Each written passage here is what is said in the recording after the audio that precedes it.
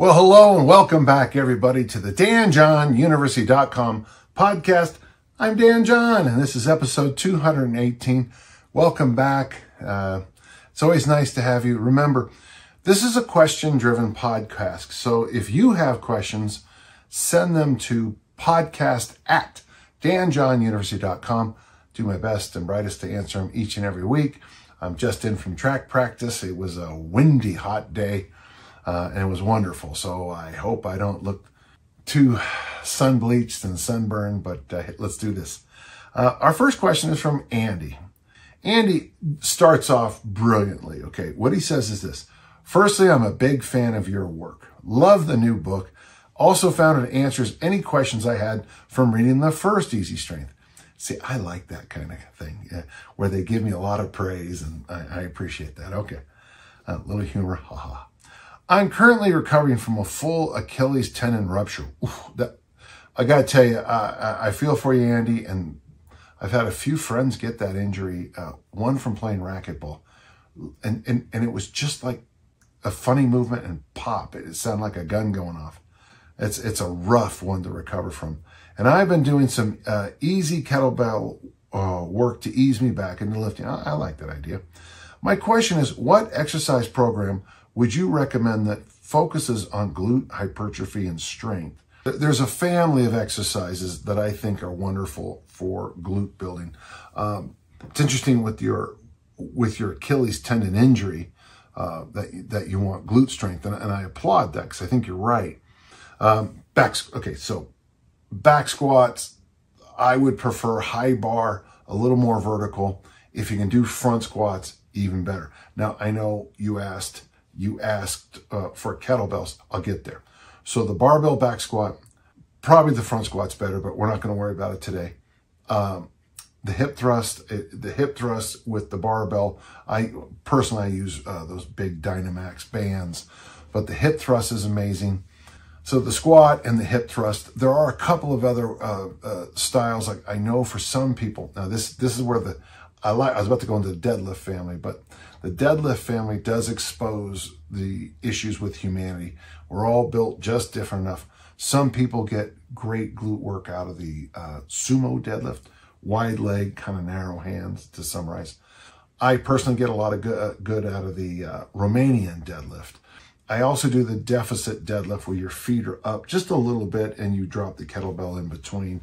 Uh, they're really like doing a it's almost if if done correctly, it can almost be a perfect hinge for some people. Uh, again, your mileage may vary.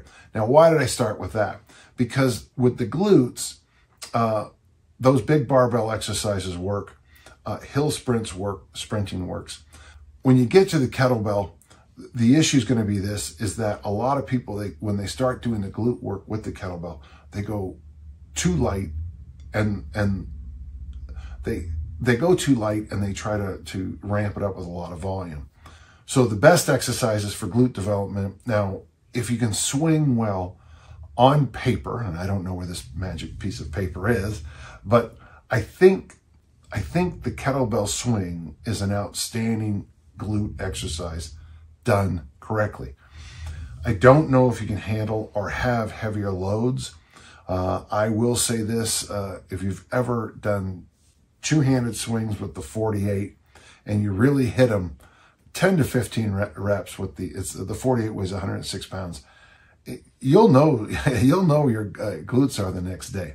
Uh, we do have a little program we do at the gym. Now the other exercise and i talk about it way too much on the podcast is a double kettlebell front squat. I do think if you can make it so that you work in uh, loops it, it's going to um, uh, circuits is going to go really well for you. This is a classic circuit in our gym. So you do a set of hip thrusts. Now, whatever, whether you do a barbell, some people say that you, you can put a weight on your belly and do hip thrusts with a kettlebell. Uh, I personally don't like that. I've tried it. I don't like it. I have uh, Bret's, uh, Bret Contreras's hip thrust machine.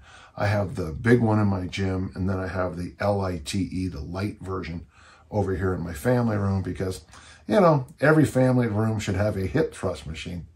Um, so you would go to a hard set of hip thrusts, so 25 or so, pop up, and do the double kettlebell front squat or the goblet squat if that's better for you as soon as you can so that your the glutes are already started to work and now the quads kick in as what we used to call a, you know, kind of a pre-exhaustion. After that, so hip thrust, squat, step over and swing and use the ballistic to kick in.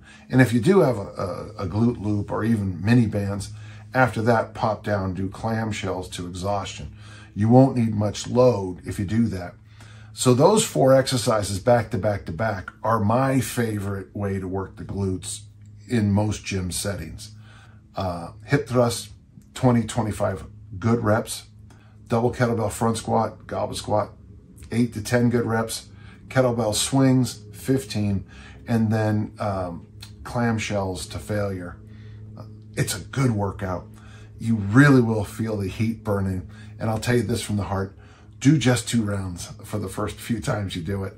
I, I, I, imagine you can build up to three, four, or five rounds of this, but I'd rather you focus, as always, on the quality of those movements rather than the quantity. So, can you build glutes with kettlebells? Yes. If you have good kettlebell swing technique, if you're willing to do those, those, which I think is one of the roughest exercises uh, for reps, the double kettlebell front squat, it does amazing things for your athletic ability because you just have to be so wound up. You know, we call it anaconda strength, but you know, if you know what I'm saying. And of course, you got the hip thrust, which is one of the, which is an amazing isolation. And then the clamshell at the end is an amazing isolation. As you know, when I travel, if you listen to this, I always bring a glute loop with me so I can do hip thrusts and clamshells when I get to the hotel room to kind of undo the damage of the flight. Uh, great question, Andy. I hope it helps. Uh, if you were to do that circuit and then like half kneeling presses after it, well, or just do my perfect workout, because I mean, most of the perfect workouts already been said, but that circuit of the four exercises, the hip thrust, the squat, the swing, clamshell, do that two, three, four, five times, and then uh, do half kneeling presses, because that's going to stretch, uh, stretch that hip flexor too. I mean, that that's not bad. And throw in a couple hangs and pull-ups or whatever, and you got a you got a solid workout. So thank you, Andy. Good question. Our next question is from Warren. And this is a question I, I've seen before I don't like. Warren says this, I'm reading Mass Made Simple and I'm interested, interested in doing a six week cycle. Can you recommend a squat alternative to the barbell back squat? Uh, no, um, uh, it, the whole program fails if you don't back squat. Uh, there was a criticism some guy wrote on Amazon that uh, that elite bodybuilders do leg presses to build their legs. Uh, that's not what Tom Platz has said over and over and over in the last few years.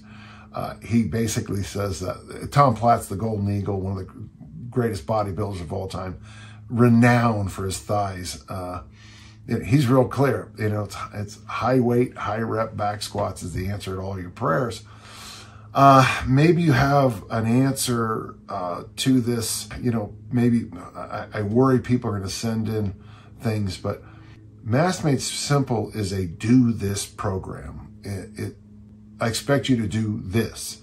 Uh, if you start varying things, then it's not Mass Made Simple. Having said that, everybody everyone has issues. Uh, we tried doing it with goblet squats. We called it lean made simple, and it was it was a disaster.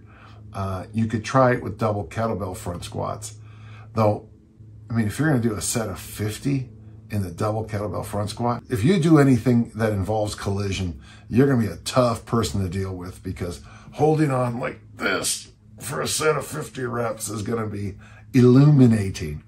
I can remember doing the, when I first started doing high rep back squats and having the bar there, I had the ability to lock out and just breathe. And uh, yeah, the load was still on me. The load was still crushing me, but I could breathe. And that's why I was able to do things like, I, I and everyone listens know this workout, but one time I did 315 pounds in the back squat, deep, by the way, not the nonsense you see online, Olympic style, for 30 reps 275 for 30 reps and 225 for 30 reps. I got to tell you, I, I don't ever remember feeling that terrible. Um, Dick Notmeyer and I not long ago. And he's 95. He still remembers the story. I was holding on to the, uh, we had this red uh, hide uh, incline bench. Oh, pardon me, it was pink. Uh, my home one was red. And I was holding on to it to figure out how I was going to ride my motorcycle home that night. And uh, I made it home, but uh, I it was it was brutal. Um, I'm, I'm sure I'm sure there's other things you can do, but for this workout, it's the back squat. The complexes in the back squat are the foundation. The bench press, the the the single arm presses, the bird dogs, and the bat wings. Those are just to you know keep everything else uh, balanced.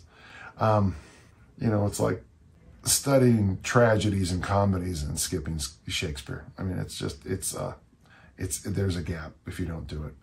Uh, I'd like to have known why you can't do back squat, but that's the best I can think of. I imagine if you do have a, a, a belt squat, that the hip belt squat, that might be pretty good. In fact, it might be really good, but you're going to have to up the reps because you're not going to get the hit on the upper body you do with back squats. Thank you, Warren. Great question, I guess. Um, when I give you a do this program, uh, do this. Okay, thanks. Um, Jonathan asked a question. For those lifters that have a good amount of experience and want to play our training more by ear, how would you approach your workout each day? What would be your mindset? What questions would you ask yourself each day? Is there a method of training in this way in your view? Well, I've never made it work, but I was having a conversation with somebody about the, the late, great Dave Draper. And Dave just loved being in the gym. And uh, even though he had organized routines, sometimes he just went by what he felt like doing. Now I know the Joe Weider uh, instinctive principle comes in, but Jonathan, you did say something interesting. It's important. You said an experienced person comes in. Uh, what happens when people just do this kind of thing, usually, is for men, we just morph into doing bench press and arm work. Uh, for women, we tend to morph into doing ab work and stretching. Uh, you, you have to have some kind of, you have to have some kind of uh, lane. You got to have some kind of bumper that keeps you doing things that you might not want to do. Uh, I never feel like squatting. I mean, even when I'm getting ready for an Olympic lifting meet, that's, I don't ever roll out of bed and say, today is a great day to, you know, do a bunch of front squats and get really tired. Um, so I, I, build front squats in. Uh, I do them right after I clean and jerk, and it's just, it's just that's what I do. Uh, I guess what I'm trying to say on this is that at some level you got to make sure you hit. If you just want to keep with my push, pull, hinge, squat, loaded carry, um, I love loaded carries every day. I think they're fine. Um, unloaded carries, you there's there's a lot of variations. You can just play around with what you feel like. And I think unloaded carries that would be okay. On hinges, you know, let's just say you have you have you have the whole buffet of kettlebells, dumbbells, barbells, and all the rest uh, at your disposal. You know, with hinges, uh, boy, if you feel like doing a hip hip thrust day one day, and two days later you feel like doing a deadlift day, I think you're fine uh, as long as you have enough tools. Um, I would like to see a squat at least twice a week. I think that's a nice number. You can get away with squatting once a week, um, but it has to be it has to be a hard squat workout. Let's just stick with two. There's not a lot of variations in the squat. Goblet squat, front squat, overhead squat, back squat, and then there's Zercher, but not many people like or do Zerchers.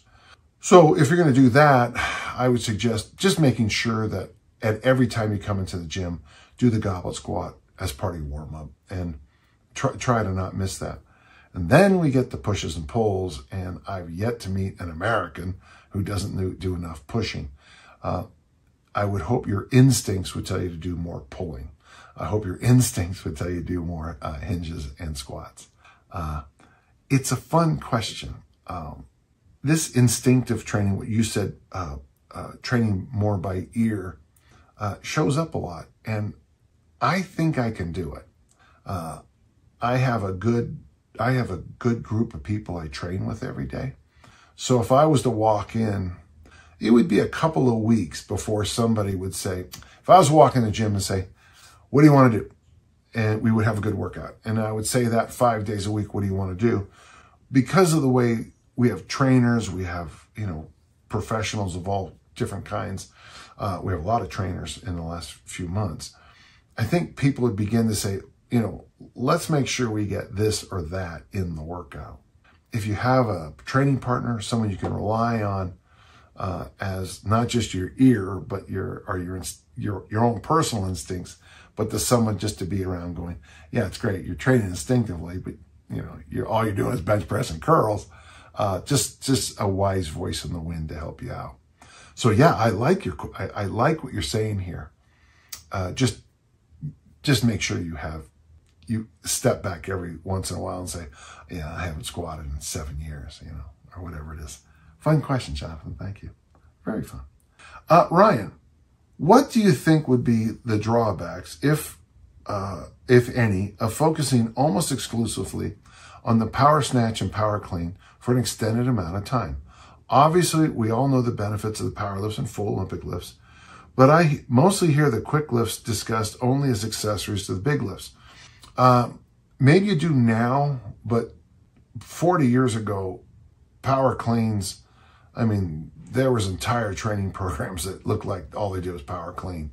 Uh, there was a famous Russian weightlifting coach that said, you must do many power cleans and back squats to succeed.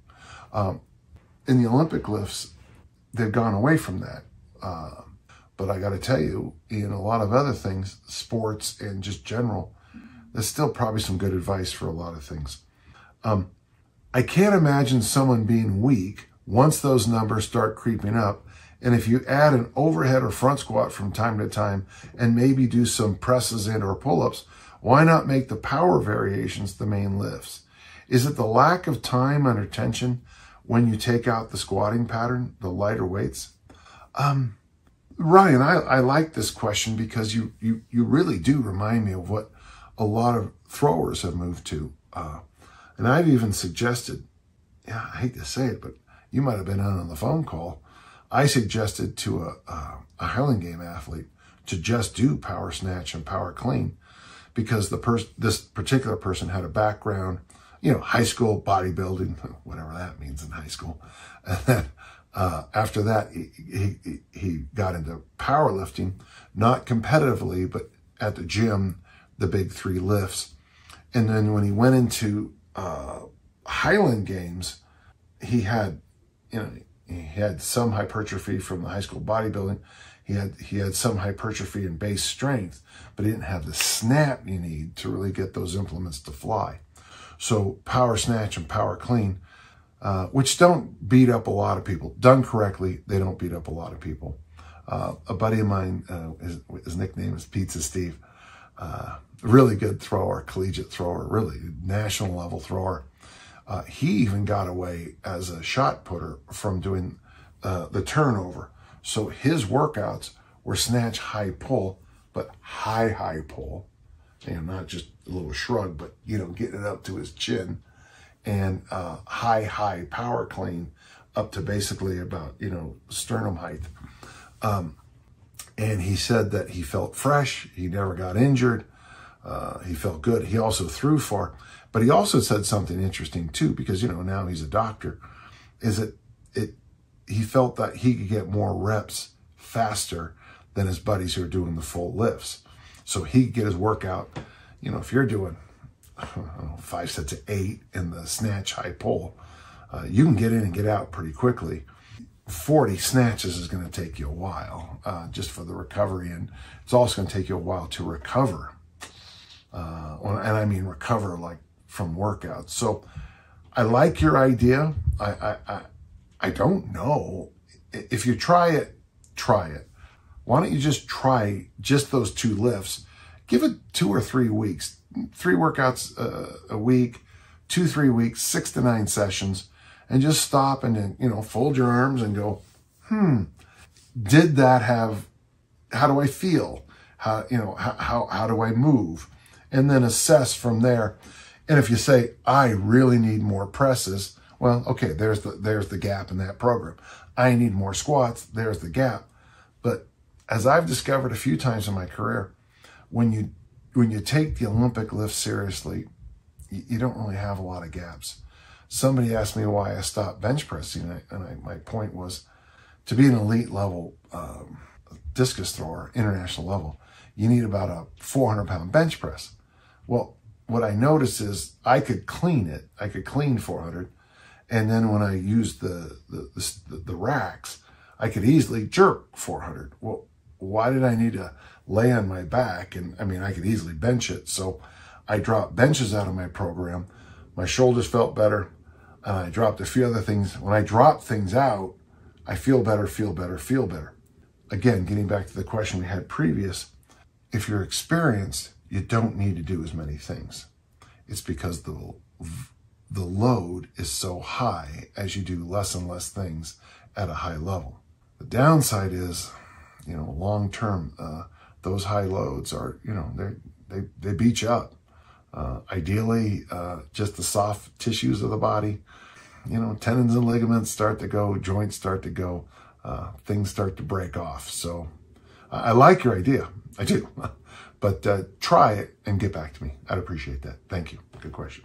Michael, you recently stated in Wandering Weights that a classic method of progression was to work up to an ugly single using a particular weight, then watch, well, uh, yeah, uh, you make, you make the lift with the single, yeah. Then watch the reps and the mass slowly build up.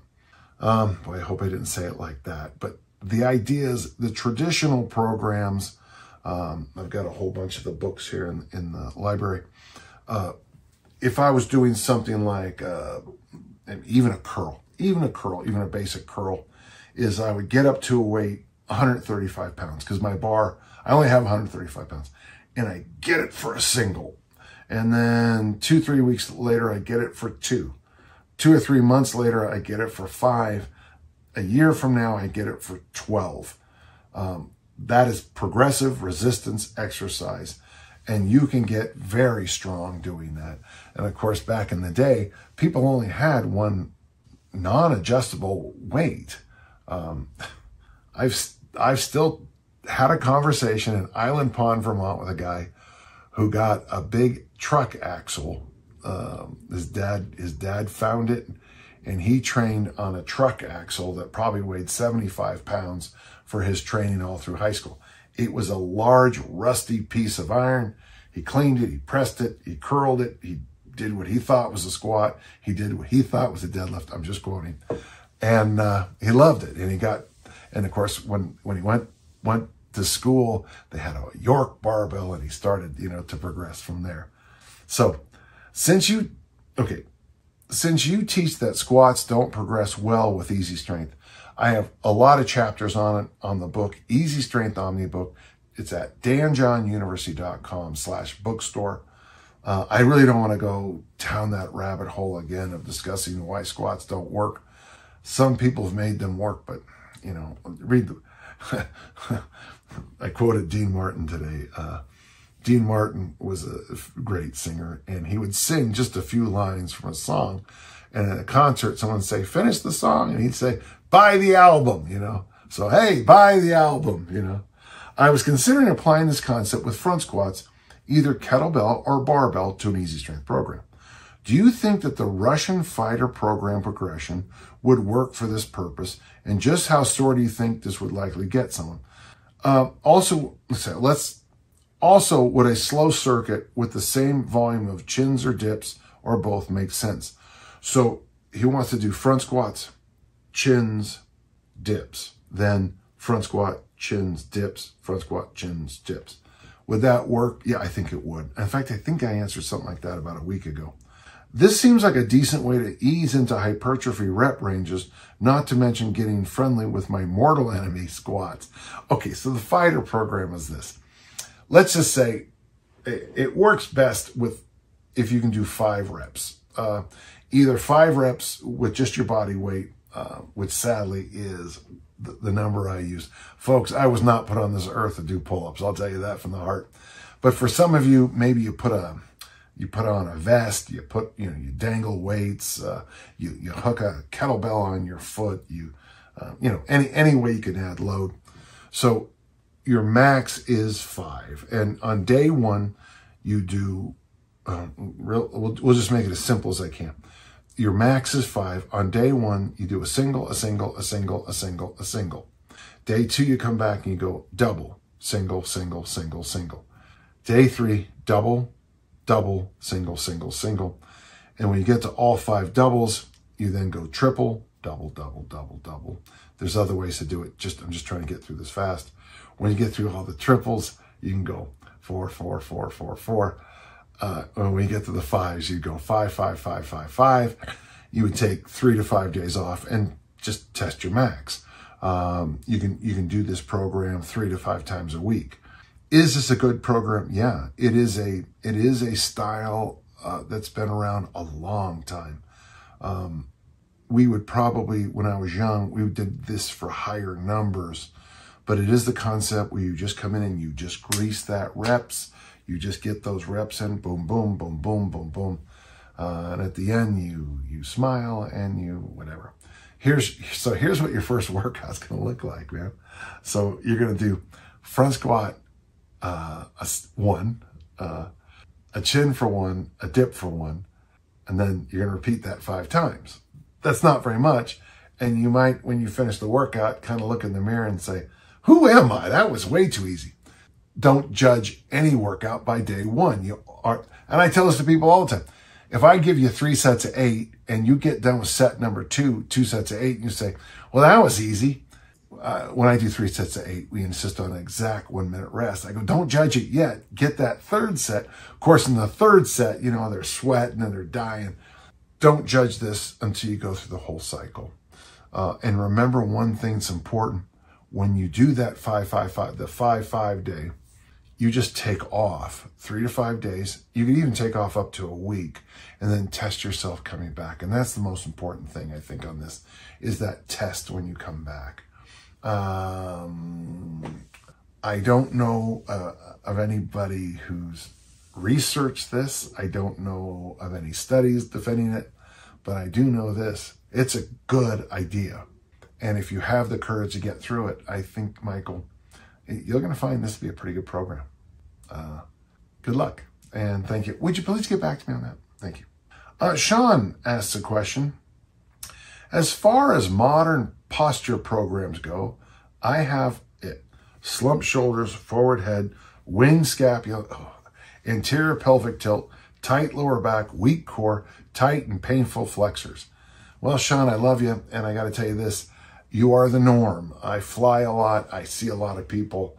I travel a lot. I know there's that one group of people who say it's per, you know, that Janda and all them were wrong. And it's like, oh, come on. Just, just, just look and you can see. So I'm here to help you. Okay. I've recently purchased a stand-up desk, so I spend less time sitting. Okay. That's a good start. Hats off to you. I'm also been walking to work once or twice a week, about two miles. Good. Where would you focus your time and where have you seen people make real improvements in posture? Okay, you're doing two things that I think is already right. First off, you're standing up more, which I think is good for everybody. Second is that you're walking, and I think walking is number one. I'm going to just share who I think you should ask this question of. His name is Tim Anderson, Original Strength. Now, if you're a member of Dan John University, Tim shared one of his most precious documents with us, um, Pressing Reset, which is his, I think it's marvelous. Uh, also, too, if you read uh, my latest books, you'll see my post-deployment program, my hypertrophy program, hypertrophy and mobility program, and you'll see Tim's uh, work in there. Uh, Tim takes us back to being a child, to being a baby, in fact. So the number one thing, this this is a big thing for me too, Sean, is uh, he's going to have you do certain things like prone position. You're going to lay on your belly, you're going to stick your elbows in the ground, you're going to arch up. But the thing is, he's going to want you, um, I'm laying on the ground. He's going to want your eyes on the horizon. So what happens with most people, they get in that position, and when they go to raise their head, they can't get through. So calm down. It's okay. Turn off the engines and we're, we're going to take a few weeks, months, decades to get back.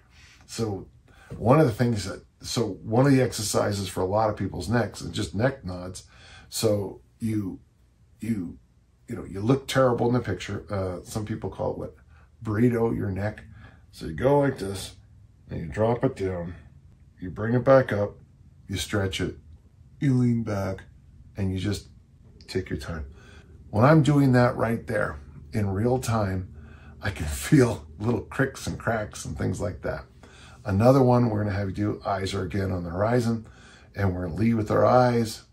And well, in prone, we say find your shoes. You're going to do six point. That's when you're on your hands, uh, knees, and feet. You're to do things called rocking. Uh, there's rolling. There's, uh, boy, I tell you, we were doing bear crawls at the CERT, at the CERT this last weekend, and I forgot how amazing bear crawls were, even though I've been coaching them for years. Um, and then the other thing that really helped me is when we get to gait, which is walking, which is what you're doing. He, um, we sometimes in track and field call them A skips. But for me, since I've got some long-term injuries, some titanium and stuff, jogging and sprinting, I don't always get a lot of benefit from it because it really, uh, the physics just don't work well. Um, but I can A skip. And so my great eight sprints now are A skips and it, I, I, I love it. So my answer, uh, how to fix modern posture issues is to um, look up Original Strength by Tim Anderson or danjohnuniversity.com. It's in the downloads. Uh, get pressing reset. Um, I, that's what I did this last weekend as and in real time as I'm speaking uh, I know this won't come out for a little bit, but in real time as I'm speaking, about halfway through the weekend, uh, I, I realized that, uh, you know, as much as I love the Olympic lifts and front squats and all the rest, I also need to make sure I do my uh, my prone work, my six point walk, my rolling, my A skips. I need to get back into coordinating my body, turning my body back to the way it's supposed to be and not from all the travel? That's a that's a great question, and I hope I hope it helped you. Help me help you. Yeah. Is this our last question? Zach asks, do you think it's valuable for a kettlebell general fitness enthusiast to pursue pursue the RKC as uh, standards as a goal or challenge in and of itself? Or the other side of it, preparing and passing a cert requires a dedicated mm-hmm, and consistent application and practice to succeed. And cert prep would almost in any case improve overall fitness. Oh yeah. Body comp and general health, all good things for the regular Joe. I'm a 41 year old male with a busy career, two kids, seven and four, with the normal suite of family life obligations. I enjoy kettlebell training and skill development am currently focused on improving my body composition, but struggle with consistency. I tend to do well with big goals and even a little better when there's money on the line. That is, putting up the cost of a cert. Is it worthwhile for the normal guy to get certified? Zach, um, I'm getting more and more people who come to the certs auditing the course. And I really like that idea. Um, you know, I mean, for you, Zach, and we're just, let's just let's just pretend that you have to do the snatch test. Uh, so that's 100, 100 snatches with the 24 in five minutes. Infinitely doable. A lot of work to get yourself ready. Is there value to it? Oh, yeah. I mean, there's something magical about kettlebell snatches. Uh, uh, I want you to press the 24 for five reps, 24 for five reps. Is there value to doing that? Yeah, it's, it's a standard. Um, if you look around on my site or any of my books, uh, I, the, the, original blog post was called Sleepless in Seattle because I was in Seattle and I, I, I could barely stay awake. Um, and so I wrote this blog post because I don't remember why I did it. Uh, but I have all kinds of numbers and standards. The, the problem I ha would have with the, the kettlebell certification standards, there's certification standards that, so here, well, I can't put my hands low enough to what we expect from a normal person anymore. This is what we expect a kettlebell certified instructor to be able to do. That's the minimum, okay? Obviously, many of us are well above that. Um, but you're kind of, it seems to me, you're in that other, that, that little uh, area underneath the, used to be called the ether, but we know that ether doesn't really, isn't really true. But, you know, here's a normal person, you know, below the carpet, below the floor. Uh, here's you, and then here's that minimum standard. Anything you do here to, to rise up, touch, or exceed the minimum standard, I think would, I think would have value. I mean, for a man, being able to press the 24 for five reps, a good standard. Uh, being able to do the double kettlebell front squat, double 24s, five to 10 reps. That's, that's good. Being able to do a Turkish get up with a 24 is pretty good. I mean, it's an impressive, you know, I, when we do the certs and someone, you know, stands up at the 24, you know, it's obvious how much shoulder and body control they have. And when they put the weight down, it's also obvious that uh, something as simple as a Turkish getup can be a whole body exercise. And I'm talking cardiovascular. So yeah, I do like that. I do like the standards. Having said that, just attempting to get them sounds like a good idea to me. So thank you, Zach, for the question. I like it. My thought is then to get back to it. I love standards. I really do. I like standards. The thing I always try to remind people of once you hit that minimum standard, you know, uh, uh, Brett Jones said it so well when we got certified.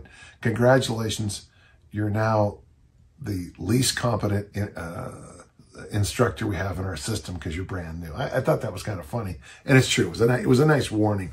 So, working your way up to those standards, and since you don't have to do a, a, in a in a weekend, you know maybe you want to try chase one standard, get it, find another one, chase that, and enjoy. Enjoy the process.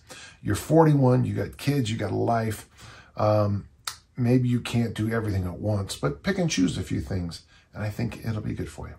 Well, there you go, gentle listeners. Uh, if you have questions, send them to podcast at danjohnuniversity.com. Uh, I'm here to answer each and every one. I sure appreciate your question. Sure appreciate your questions. Uh, I do. Um, today's questions were a nice mix. Um, I, but I did notice it was a lot of kettlebell stuff. Uh, I, I, like questions uh, on all ranges of things. And just remember, if you have questions, you send them to me and I'll take good care of you. And until next time, let's all keep on lifting and learning.